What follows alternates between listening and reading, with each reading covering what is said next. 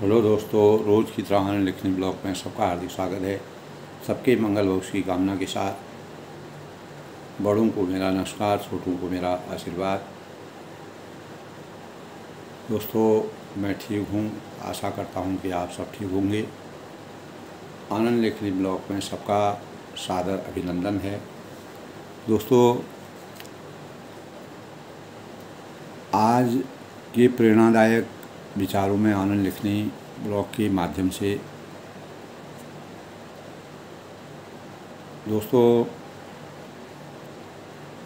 हमारे जीवन में अनुभव, हमारे लिए किस प्रकार से एक वरदान के रूप में साबित होते हैं? एक अनुभवी व्यक्ति किसी भी कार्य की दक्षता को कैसे पूर्ण, परिपूर्ण करके सामाजिक परिवेश में अपने अस्तित्व को उभारने में और किसी भी कार्य को संपन्न करने में अपना योगदान देता है। तो अनुभव हमें, दोस्तों, अनुभव क्या है?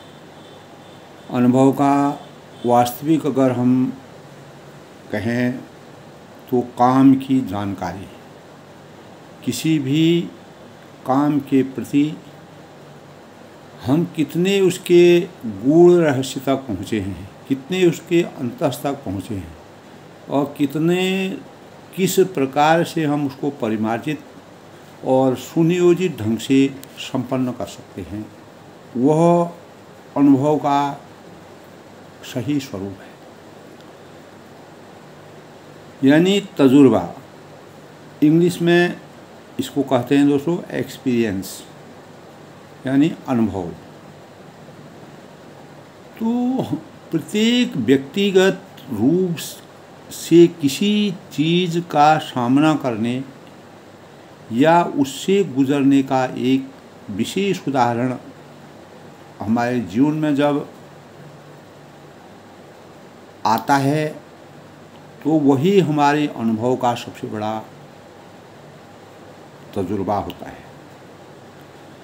और जिसको हम साकार रूप में और प्रयोगात्मक रूप में, अपने प्रत्यक्ष रूप में, अपने आँखों के सामने उसका, उसको देखते हैं, उसकी प्रतिक्रिया, क्रिया का अनुभव करते हैं वही अनुभव की सबसे बड़ी अभिरुचि है। जैसे दोस्तों, हम जंगल में जाते हैं और जंगल से अगर हम गुजरते हैं तो गुजरते गुजरते हम जब भीषण जंगल में चले जाते हैं तो हमें कहीं न कहीं शेर दिखाई देता है। तो शेर की वास्तविकता को, शेर के बारे में जानकारी होना शेर किस प्रकार से जंगल में विचरण करता है और शेर का शरीर कैसा होता है, ये चीज़ हम जब उसको सामने देखते हैं या हम उसको देख करके अपने अंतकरण में जो भय हमारा, हमारे अंतकरण में जाता है वह हमारे अनुभव का एक एहसास होता है। और किसी भी चीज़ में दोस्तों हम जैसे बच्चे होते हैं, बालक होते हैं हमारे छोटे जीवन में जब हम पढ़ते हैं तो हमारे जो शिक्षक हैं किसी भी बच्चे के तो शिक्षक के साथ उनका जो आदान प्रदान होता है, आचार विचार होता है, शिक्षा के बारे में कुछ। तो कोई ना कोई हर एक बच्चे के जीवन में कुछ न कुछ अनुभव बचपन का होता है। जिसको वह हमेशा के लिए उसके सामने होता है और वह उसकी क्रिया है, प्रक्रिया है और जो खेलने, जागने, उठने, पढ़ने, लिखने की अभिरुचि है, उस समय में वह बाल्यावस्था में उस चीज़ को बाद में अनुभव करता है कि उस समय मैंने इस प्रकार का कार्य किया था, चाहे वह अच्छा किया या कोई खुरापाती कार्य किया कोई इस प्रकार का। तो ये संवेदनाएँ हमारे अंतकरण में, अनुभव जब हमारे सामने कोई चीज़ साक्षात रूप में विद्यमान होती है, जैसे हम कहते हैं बर्फ़ है, बर्फ़ पड़ती है। जब हम बर्फ़ बर्फ़ के एटमॉस्फेयर में जाएँगे, यहाँ तो जैसे हम, जहाँ पर बर्फ़ नहीं होती है, वहाँ पर बर्फ़ देख सकते हैं। लेकिन जो बर्फ़ का गिरने का जो तरीका है और किस ढंग से बर्फ़ गिरती है, उसका अनुभव हम तभी कर सकते हैं जब हम साक्षात रूप में अपनी आँखों से उसको देखते हैं और उस परिवेश में अपने को निहित रखते हैं। तो वास्तविक ज्ञान, वास्तविक अनुभव हमको तब प्राप्त होता है कि बर्फ़ किस प्रकार गिरती है, कैसे वह ज़मीन में गिरती है, कैसे बारिश होती है, बर्फ़ गिर करके कैसे जमती है। यहाँ तो जैसे फ्रीजर में हम अपने फ्रिज में बर्फ़ को जमाते हैं वह तरीका अलग है। लेकिन दोस्तों, जो वास्तविक हमारा बर्फ़, वास्तव में जो बर्फ़ गिरता है सीधे वह बर्फ़ गिरने पर हमारा किस प्रकार का अनुभव होता है वह परिवेश कैसा होता है, बर्फ़ गिरने में किस प्रकार का एटमोसफेयर होता है, कैसा हमको एहसास होता है, किस प्रकार की हमको जानकारी होती है, और वातावरण कैसा होता है, उसमें हमको अच्छा बुरा क्या लगता है। जब हम उस परिवेश में जाते हैं तो अनेक जो पर्यटक लोग हैं दोस्तों, इसीलिए साक्षात रूप में, जैसे किसी भगवान के दर्शन करने जाते हैं तो उस, उन भगवानों के बारे में जो दिव्य रचना लोगों के अंतकरण में छुपी रहती है कि भगवान का ये आशीर्वाद होता है, वहाँ जाने से हमारी मनोकामनाएँ पूरी होती हैं और तमाम प्रकार के हमको वन, जो फल हम मांगते हैं उसकी प्राप्ति हो जाती है। तो जब तक हम वहाँ पर जाएँगे नहीं और परमात्मा से हम आराधना नहीं करेंगे तो साक्षात रूप में हम वहाँ पर जा के स्वयं की उपस्थिति में प्रयोगात्मक अध्ययन से किसी चीज़ को साक्षात रूप में करने का के लिए चरितार्थ करते हैं, वही हमारा सबसे बड़ा अनुभव होता है। तो अनेक विभिन्न प्रकार के क्षेत्रों में हमारे कार्य बिंदुओं की रोज रचना होती है और हमारे प्रत्यक्ष रूप में जो हम उसको देखते हैं, अनुभव करते हैं, वही अनुभव, यानी हमारे अनुभवों का हमारे लिए जो वरदान होता है, वह हिमालय की छटा में लोग रहते हैं, जो भी जो भी ऋषि हैं, मुनि हैं अनेक प्रकार के लोग होते हैं तो उनको वहाँ का अनुभव कैसा है, वो वही जान सकते हैं। तो हमारे अंदर एक सकारात्मक भावनाओं का संचार होता है। तो दोस्तों, यानी मन से प्राप्त ज्ञान की समझ परिणाम और फलों की प्राप्ति होती है। तो यदि हम शास्त्रों के अनुसार अगर अनुभव के बारे में सोचते हैं तो आश्रम के, यानी आश्रय के मनोगत के अनुसार जो भाव हमारे अंतकरण में व्यक्त होते हैं, शारीरिक चेष्टाएँ का जो हमको अनुभव होता है तो सूक्ष्म रूप में हम कह सकते हैं कि दोस्तों, प्रत्यक्ष अवलोकन या उसकी भागीदारी के माध्यम से प्रभावित होने वाला ज्ञान प्राप्त करने की जो स्थिति होती है, वही अनुभव का सही स्वरूप है। यानी प्रत्यक्ष ज्ञान संवेदना, यानी प्रायोगिक परीक्षण से प्राप्त ज्ञान को ही हम अनुभव की सही संज्ञा अनुभव कर सकते हैं। तो अनुभवी व्यक्ति किसी भी कार्य में इसीलिए दक्षता हासिल करता है, उसकी ज़रूरत इसलिए पड़ती है कि हमारे कार्यों में किसी प्रकार की कोई रुकावट पैदा न हो। क्योंकि अगर एक अनुभवी व्यक्ति उस बात को, उस चीज़ को संपन्न करेगा, उसमें अपना हाथ लगाएगा, अपना मन लगाएगा, अपनी बुद्धि लगेगा, लगाएगा तो वह उसको पूर्ण निष्ठा और सही तरीके से उसको, उसके लक्ष्य तक पहुँचाएगा। तो अनुभव, दोस्तों, किसी विशेष कार्य या गतिविधि में ज्ञान का कौशल है।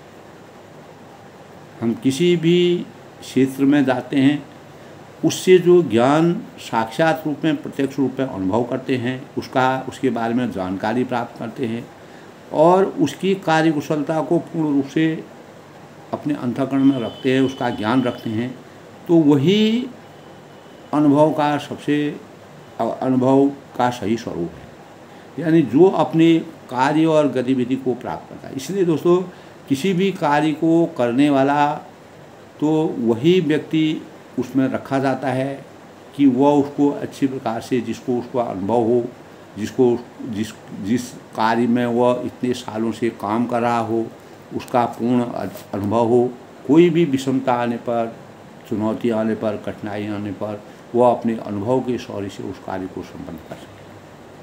तो ज्ञान व अनुभव दोस्तों, ज्ञान हमें बाहर से प्राप्त होता है।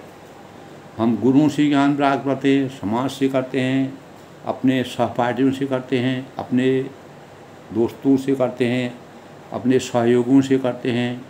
अनेक प्रकार के ऋषि मुनि, विचारकों बुद्धिजीवों और प्रबुद्ध लोगों से हम ज्ञान प्राप्त करते हैं।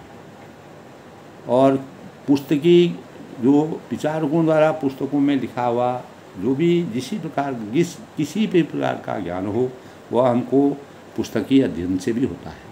तो जिससे हम किसी के सौजन्य से प्राप्त करते हैं, वह वह जो है हमको, हमारा ज्ञान जो है बाहर से हमको प्राप्त होता है। लेकिन अनुभव जो है एक ऐसी क्रिया है दोस्तों, जो भीतर से निकलता है। अगर हमको, हमने साक्षात रूप में उस कार्य को देखा होगा, उसमें किसी के, की आवश्यकता हमको ज्ञान की आवश्यकता नहीं होती है। हमारा अनुभव उस कार्य को संपन्न करने के बारे में हमें कार्य के प्रति लगनशील बनाता है। तो अनुभव सात्विक, कायिक, मानसिक और आहार, किसी भी कार्य के प्रति पूर्ण जानकारी का स्वरूप है। कार्यों के संपन्न करना और अनुभव का महत्व भी यही है दोस्तों कि हमें समझने में, बदलने में, स्वयं को समृद्ध करने का जो मौका हम प्राप्त करते हैं। इस प्रकार हमारे अंदर संवेदनशीलता एवं आत्मनिर्भरता आत्म परिवर्तन की जो गहरी अनुभूति प्रदान करने की अभिव्यक्ति, अनुभूति और अनुभव से ही महसूस कर सकते हैं। तो हमारे आसपास के लोगों की आशाओं, विचारों, कार्यों को करने की सोच की मदद व गूढ़ता को समझना, किसी भी कार्य का, वस्तु के बारे में ज्ञान का अनुभव होना,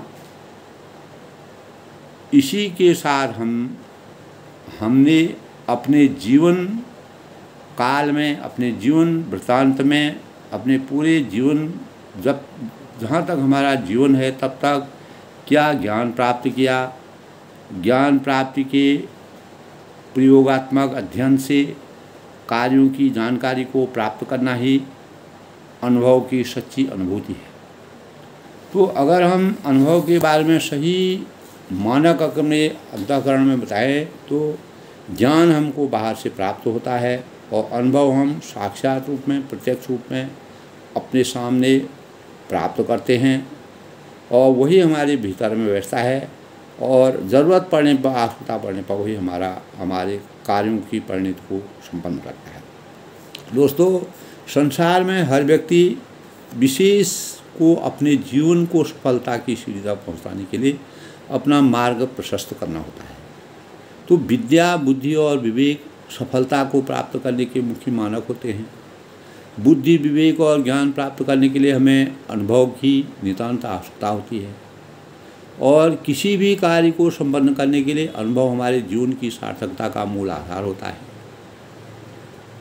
इसी के सही तरीके से प्रयोग करने से हम अपने जीवन में अभूतपूर्व परिवर्तन या कर सफलता की लक्ष्य तक पहुँच कर समाज में अपनी पहचान में ला सकते हैं। तो दोस्तों, सूक्ष्म रूप से अगर हम विचार करें, अगर हम सूक्ष्मता से विचार करें तो अनुभवों का जितना परिष्कृत मार्ग हम अपने जीवन में अपनाने का प्रयास करते हैं, वही हमारे जीवन परिवर्तन की सबसे बड़ी उपलब्धि है।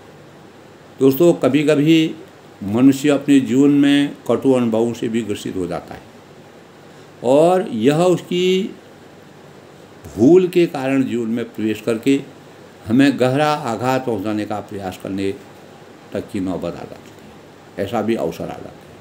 तो ये हमारे जीवन के तात्कालिक कटु अनुभव कहलाते हैं। तो अनुभव दोस्तों अच्छे भी होते हैं, कटु भी होते हैं, कठिन भी होते हैं, सरल भी होते हैं। तो ये हमारे जीवन के तात्कालिक कटु अनुभव कहलाते हैं।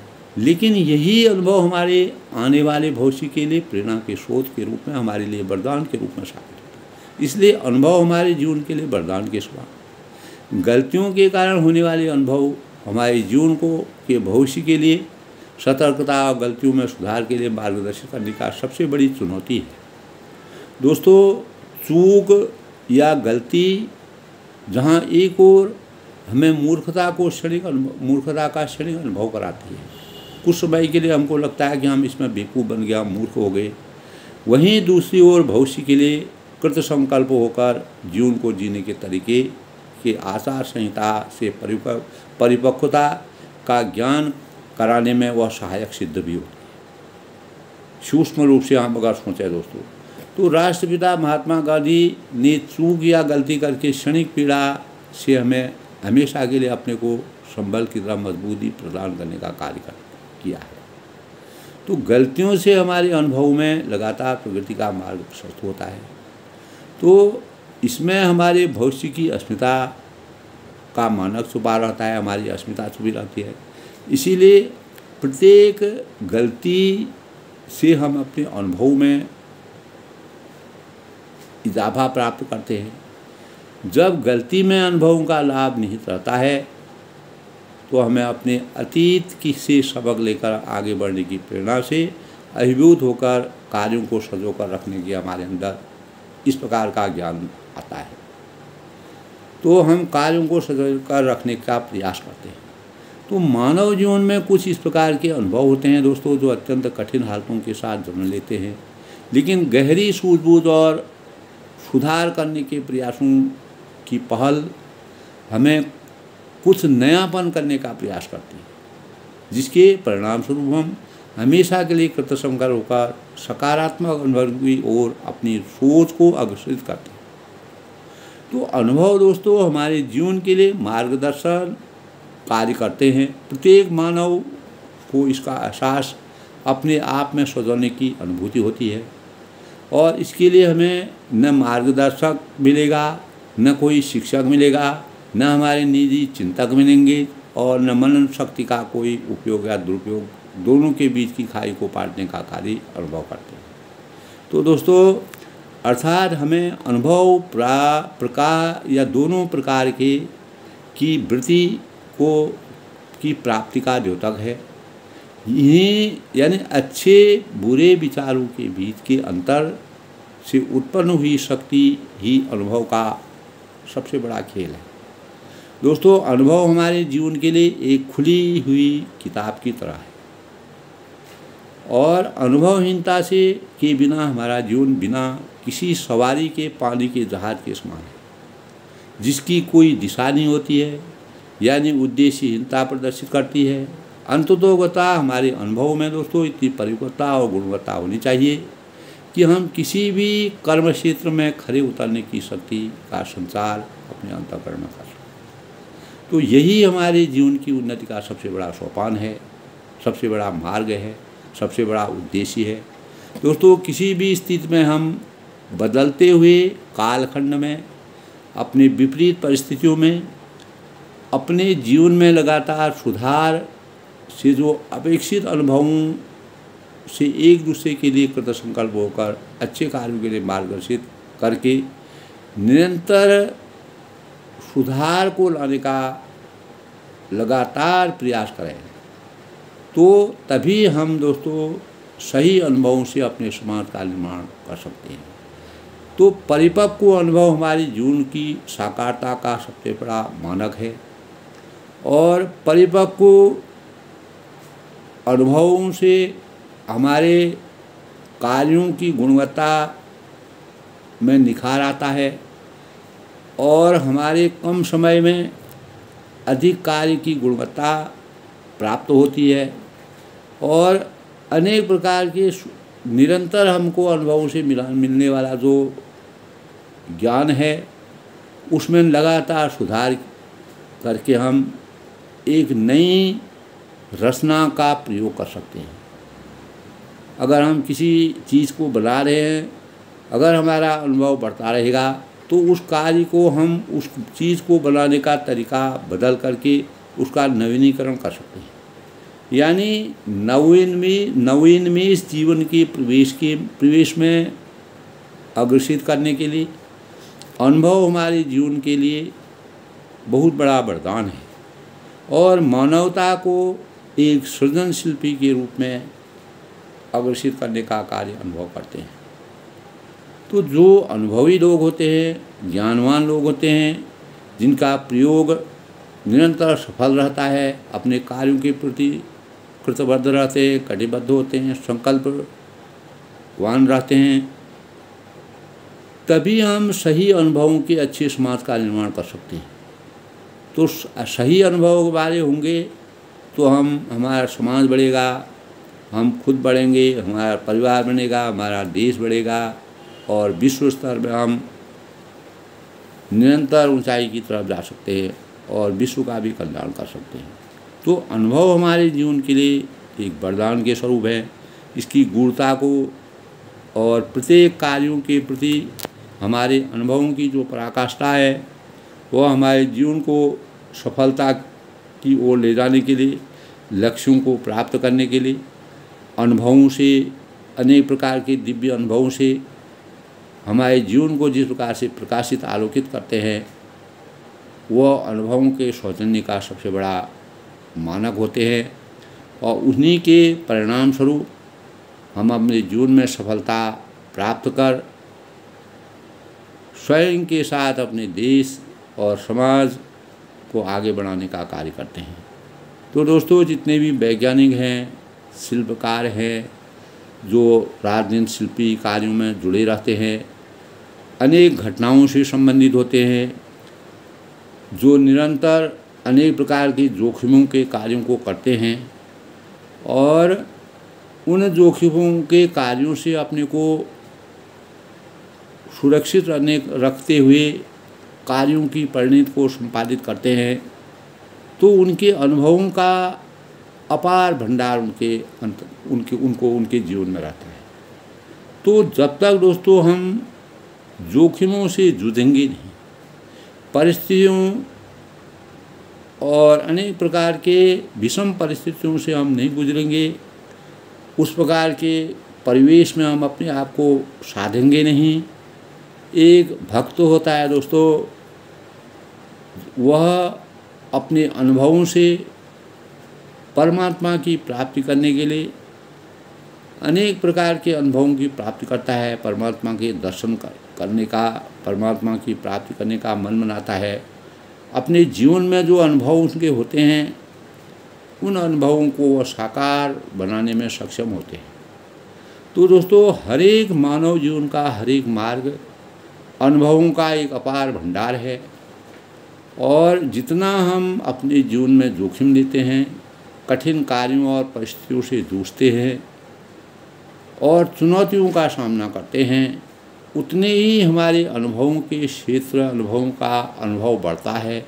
उन्हीं अनुभवों के आधार पर हम कार्यों की, कार्यों में अनेक प्रकार की गुणवत्ता को प्राप्त करके अपने जीवन को सकारात्मकता की ओर ले जाते हुए मान सम्मान के साथ और जन जन के हित, हितैषी बन जाते हैं। और जन जन के जन जन के आकर्षण के केंद्र बन जाते हैं। तो अनुभवों का सागर दोस्तों, तभी प्राप्त होता है जब हमारे अंदर जोखिम लेने की क्षमता होती है। जोखिम भी वही व्यक्ति ले सकता है जो अनुभवों का, अनुभवों से जूझना जानता है। नए अनुभवों, पुराने अनुभवों को केस को को को परिमार्जित करते हुए नए अनुभवों की संरचना को प्रदान करता है और अपने जीवन में अनुभवों का अपार भंडार बना करके एक मार्गदर्शी जीवन बनाकर प्रत्येक कार्य को आगे बढ़ाने का जो प्रयास करता है, वही सच्चा अनुभवी है। इसीलिए दोस्तों, हमारे जीवन में जितना हम अनुभव प्राप्त करते हैं, उन्हीं अनुभवों से हम कार्यों को जिस प्रकार से अपने कार्यों के प्रति हम समर्पित होते हैं और चाहे वह किसी भी क्षेत्र में हम कार्य करते हैं तो बिना अनुभव के हमारे कार्यों को गति नहीं मिलती है। तो आज के प्रेरणादायक विचारों में आनंद लेखनी ब्लॉक में सबका अभिनंदन है, स्वागत है। सबके मंगल भविष्य की कामना के साथ दोस्तों, हमें अनुभवों के शौर्य को समझते हुए, अनुभवों की पराकाष्ठा को समझते हुए, अनुभवों के कार्य क्षेत्र को अपने अंतकरण में रखते हुए, कैसे अनुभवों के सौजन्य से स्वयं के साथ अपने देश और दुनिया में अपना नाम जगाए, अपने दुनिया में देश की उन्नति के लिए नए नए नवोन्मेष कार्यों का, की रचना करें। तो यह दोस्तों, अनुभवों की पराकाष्ठा का सबसे बड़ा मानक है। इन्हीं मानकों को अपने अंतकरण में रखते हुए हम सही अनुभवों के सौजन्य से किसी भी कार्य की गुणवत्ता को पूर्ण रूप से लक्ष्यों तक पहुँचाने में सफलता हासिल कर सकते हैं। सब लोग प्रसन्न रहें, खुश रहें। इसी प्रकार प्रेरणादायक विचारों में कल फिर मिलते हैं। तब तक के लिए सबको मेरा नमस्कार।